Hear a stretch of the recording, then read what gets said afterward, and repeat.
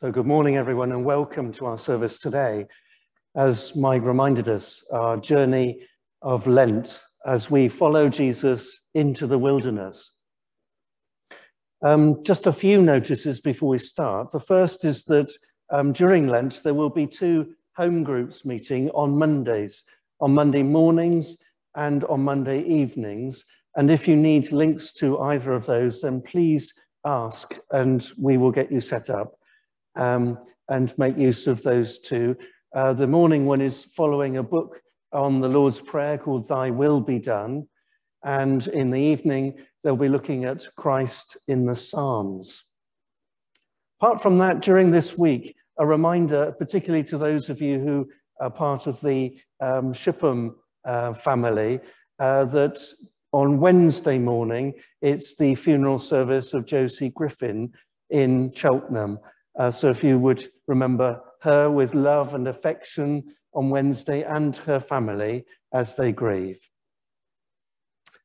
Um, last um, is that if you are short of something to read during Lent, I have one of the Lent books uh, spare. It's called Rooted in Jesus and it's subtitled Lent Reflections on Life in Christ. It's the last one I've got. So uh, first come, first serve. If you'd like it, then please ask.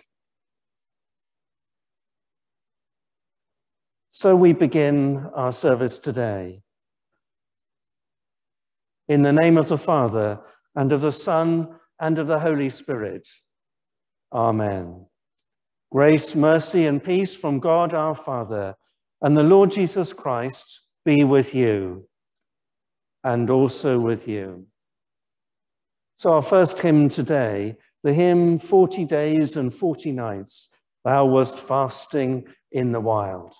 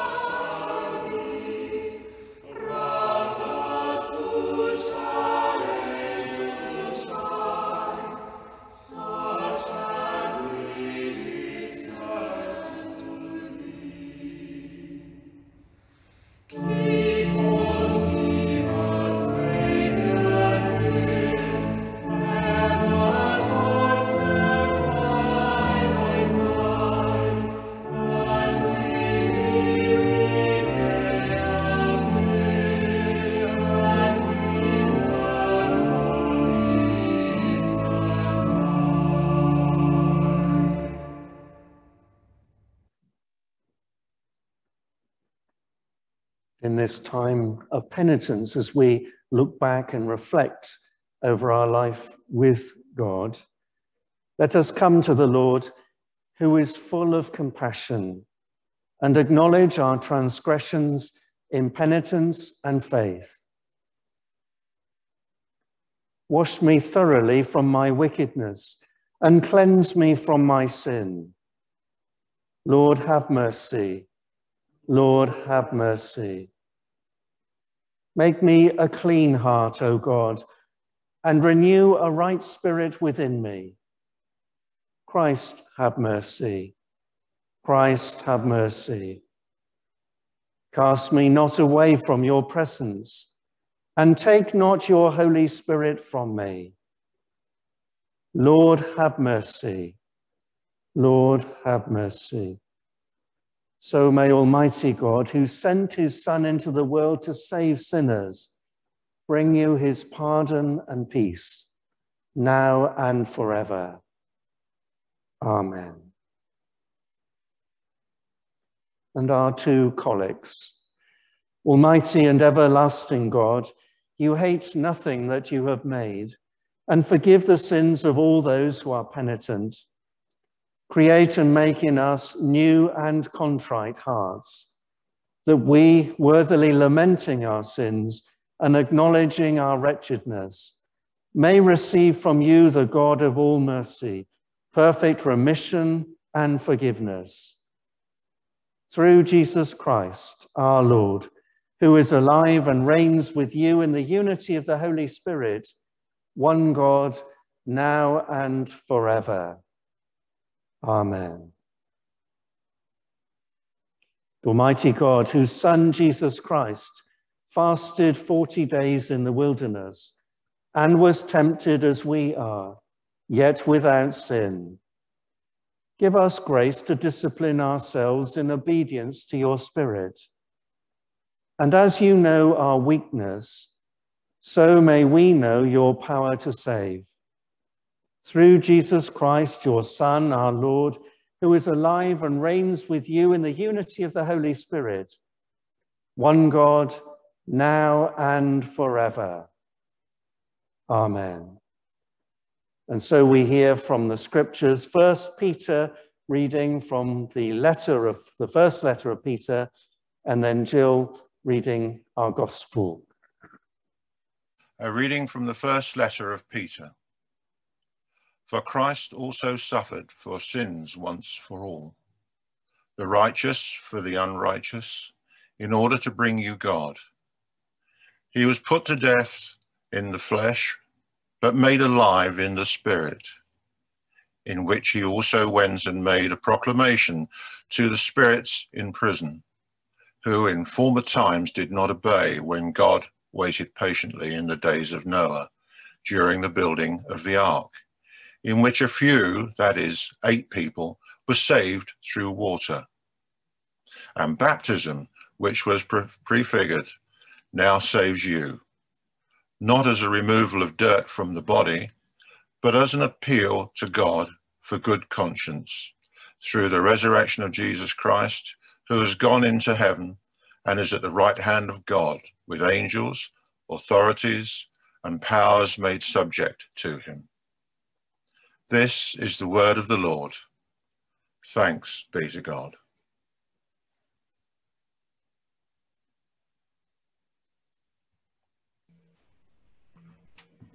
Hear the gospel of our Lord Jesus Christ according to Mark.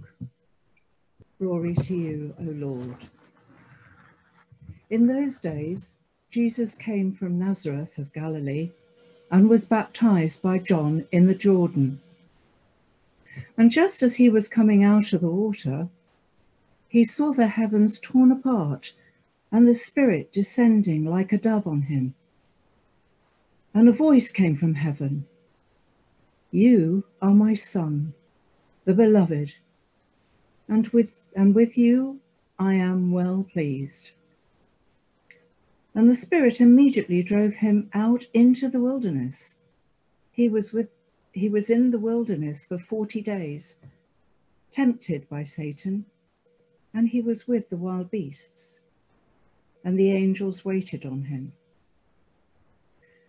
Now, after John was arrested, Jesus came to Galilee, proclaiming the good news of God and saying, The time is fulfilled and the kingdom of God has come near. Repent and believe in the good news. This is the gospel of the Lord. Praise to you, O Christ. Lord, take our hearts and minds and open them to your truths. Amen. Well, we've started Lent and we're now thinking of the 40 days which Jesus spent in the wilderness. John's gospel ignores this altogether. Matthew and Luke look at details at some of the temptations that Jesus suffered. But as is so often the case, Mark does his own thing. His gospel starts with Jesus being baptized, coming out of the water. The Spirit comes upon him in the form of a dove. He hears the voice from heaven You are my beloved Son. In you I am well pleased. Now, there seems to be an element of violence in this. The heavens are torn apart, and the Spirit immediately drives Jesus out into the wilderness where he is tested for 40 days. Mark doesn't tell us the form which this testing takes but the location of the testing is significant. By this time, the Jews were a settled nation and lived mainly in cities or villages. But their history was very different. Abraham, the father of the race, was a nomad used to living in the desert. Moses, when he fled from Egypt, also lived in the desert as a shepherd. And it was here that he had the vision of God speaking to him from the burning bush, calling him to go and lead his people out of slavery in Egypt. The Israelites lived in the desert for 40 years, during which time God transformed them to make them into his own people. Later on, the prophets, especially Elijah and Elisha, were associated with the desert. And of course, Jesus had just come from John's baptism and John was another son of the desert. And so for the Jews, the desert was very much a place to meet with God. It was here that he called the Jews and gave them their code, the Ten Commandments. And so, what could be more appropriate than for Jesus to seek out the wilderness in order to clarify for himself the mission to which he had been called. But the desert was also a place of danger. In the time of Jesus, there were still dangerous wild animals living there. And more importantly, its bleak, hostile, and lifeless nature led it to be thought of as a place of evil spirits. In fact, Jesus went into the wilderness to confront Satan on his home turf. Well, this may be very interesting, but what does it have to do with our keeping of Lent? In Orthodox spirituality, the spirituality of the Russian and Greek Orthodox churches, there is a strand of teaching called Poustinia, which is, I understand, Russian for desert. And the concept is that it is a, we find a place, often in the Orthodox tradition, it's a small hut which is sparsely furnished, where we can go and meet with God. Now, finding a place of distraction that is distraction free is not easy in this time of lockdown. But we can try and find for ourselves a corner where we can shut ourselves away. Some may be lucky enough to have a spare room or even a garden shed, whether it's a man's shed or not. But for others, it might just be a chair away from the television, computer, radio, and phone. A place where we can sit quietly and be alone with God. And there are those who do that and make it clear to their household that when they are sitting on that particular chair, they are just not available. And so finding somewhere away from the hustle and bustle where we can just think about God. That can be a way of keeping Lent. Now, of course, we're not going to be able to concentrate on God for however long it is we set aside our minds are like butterflies, they flit around. But one of the most important things about prayer is when it flits, you bring it back to God again.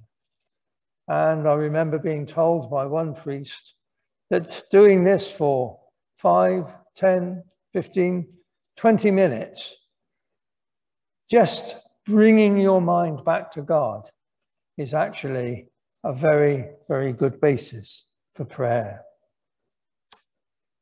And so perhaps that's the first thing that we need to pick up from this reading for our Lenten keeping, spending time uninterrupted with God. Now, most of us would not feel at all comfortable about seeking out Satan in his home territory to do battle. But what about confronting evil on our territory? That part of us which is constantly under attack. The area of weakness, the area of our traditional sins. The ones that we know we're just going to give in to, where we are especially vulnerable. How about confronting those whilst resting in God's presence and allowing Him to reclaim that area of our life which is spoilt by evil? We can ally ourselves with Jesus here.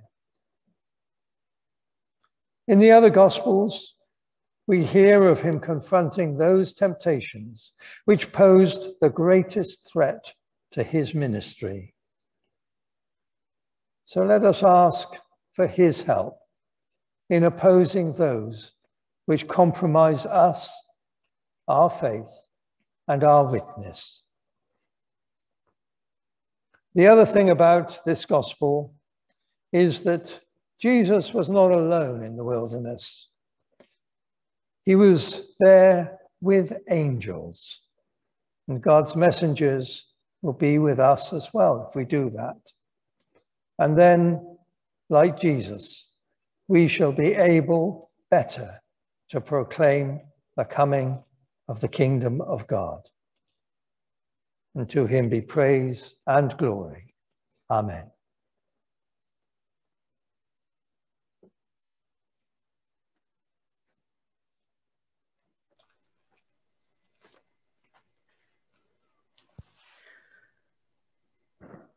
Holy Spirit, although we cannot be together in church today, we ask that you would be with each one of us as we pray in your name and unify our prayers into one voice.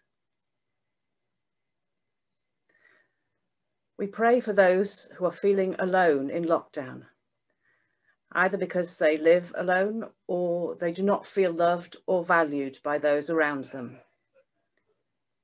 And we pray for ourselves when we feel alone. Grant that through the power of your Holy Spirit, we will all know that we are dearly loved and deeply held in your care. We thank you for all those who are volunteering in so many ways to keep people in touch at the moment. Help us to keep being alert to the needs of our neighbours and friends as lockdown continues. Lord, in your mercy, hear our prayer. Spirit of love and peace, we ask that you would pray through us for those areas in the world where suffering and struggle are ever present. We lift before you the war-torn country of Yemen and pray especially for the children who are targeted by snipers and their families fearful for their safety. We remember all those in refugee camps today in the countries around Syria, in Myanmar, and elsewhere around the world. For those who do not know if they will ever be able to go home. And we pray for those in Texas who are suffering the effects of the weather, shortages of power and food. We ask that you would spread your loving arms around all these people, wherever they are in the world today. Lord, in your mercy, hear our prayer. Spirit of wisdom, we ask that you would guide our Prime Minister and all our government in the decisions that they are making this weekend on behalf of us all. May they respond to the needs of all our citizens in deciding when to lift lockdown restrictions, and especially to be mindful of those who lack the voice to make their needs heard. Those in care homes, those who are mentally ill, and those in hospital who are restricted in their visiting. be with all those who are working in these institutions in our parish uh, and locally, and for those working in the vaccination programme, to keep them going despite the fatigue the last year has brought. Lord, in your mercy, hear our prayer. Lord Jesus, who sits at the right hand of the Father and prays for us, be with all those we know who are in particular need, physically, mentally, spiritually. For those on our in touch list, for those that we each know, whether friends, members of our own family, or ourselves. we bring them to you now as your body here on earth. Grant them your peace, your healing, and your certain hope in their lives.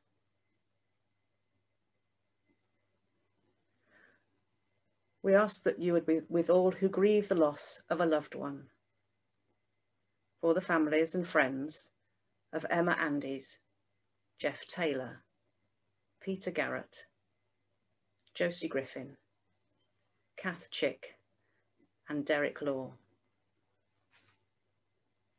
Comfort them in their grief and surround them with your love. Accept these prayers for the sake of your Son, our Lord Jesus Christ. Amen.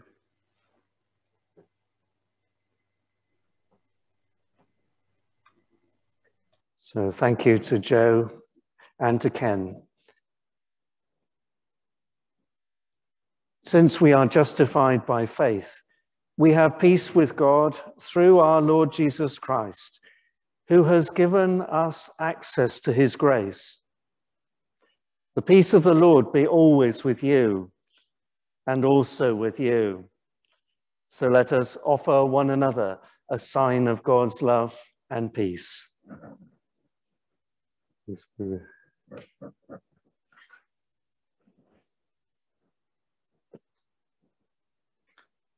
And so our hymn now is the hymn, Oh, for a closer walk with God, a calm and heavenly frame.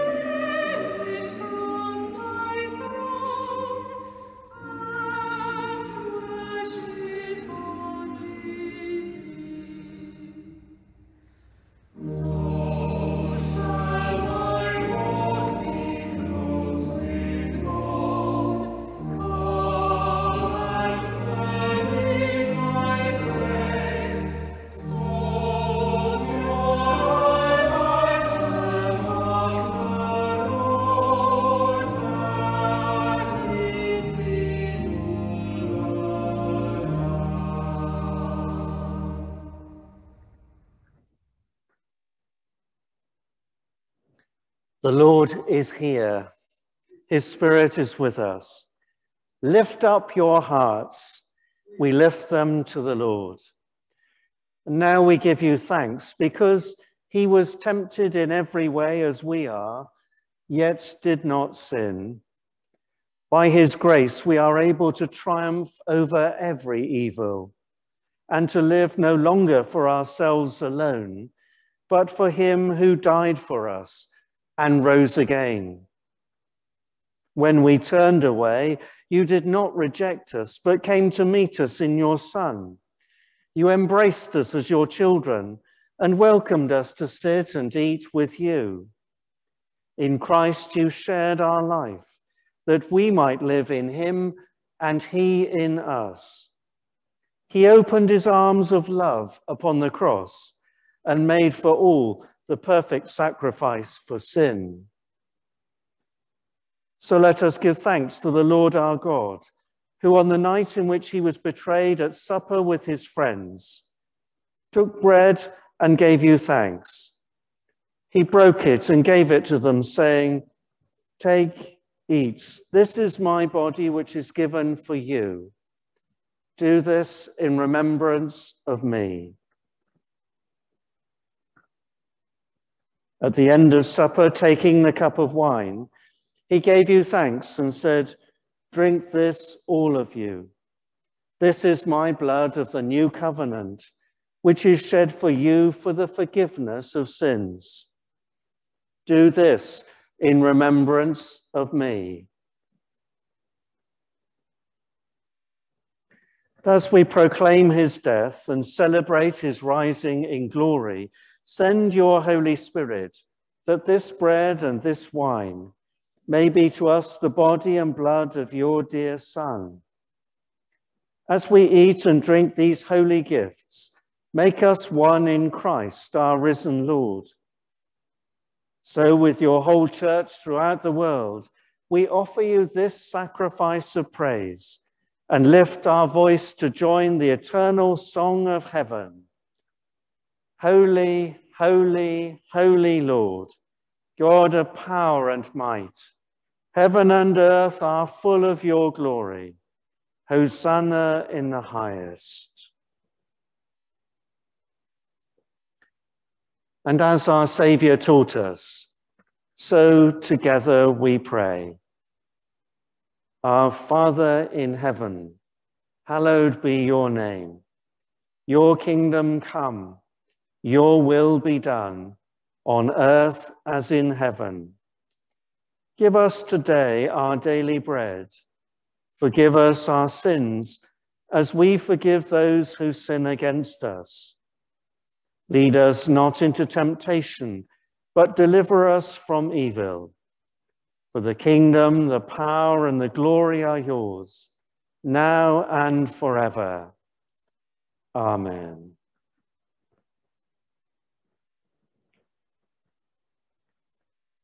Every time we eat this bread and drink this cup, we proclaim the Lord's death until he comes. Lamb of God, you take away the sin of the world, have mercy on us. Lamb of God, you take away the sin of the world, have mercy on us. Lamb of God, you take away the sin of the world, grant us peace.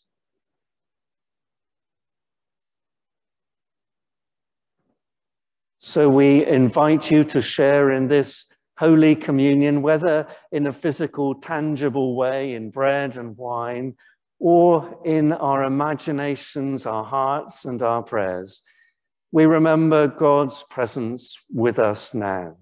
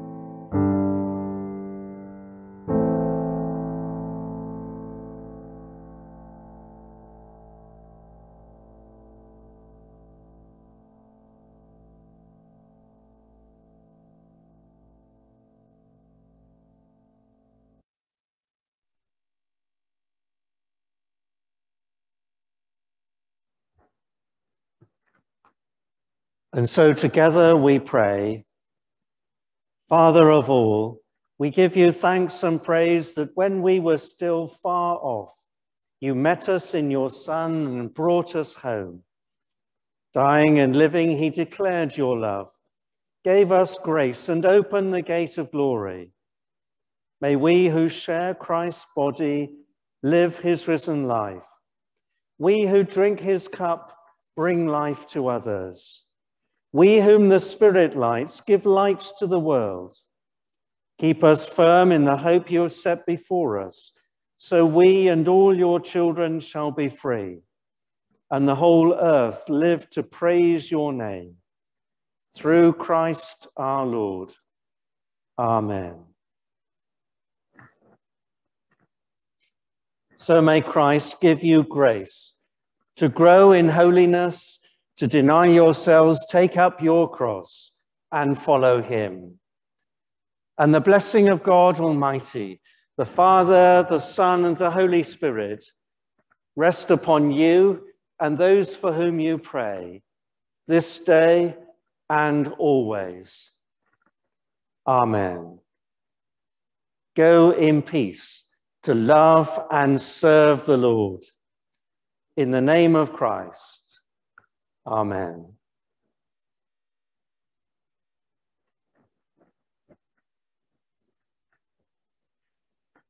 And so we um, say goodbye to some of you. Thank you for joining us today.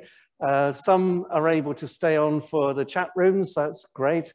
But as we do so, uh, we pray that your journey with God may be good this week uh, that you may find space to reflect, uh, whether that's in your man cave or in a quiet chair somewhere. May we wrestle with those uh, sins that beset uh, just us. And, and, maybe we find a way, a target to do something positive too during this week. And um, I commend the practice of thinking of somebody um, each day to phone or get in touch with and, and um, encourage um, one way or another.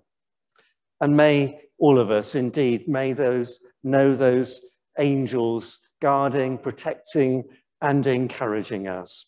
So thank you all for joining us. Thank you to Ken, Joe, Peter, um, and Jill, and everybody else who's taken part in the service in whatever way today and may God richly bless you. Thank you and goodbye.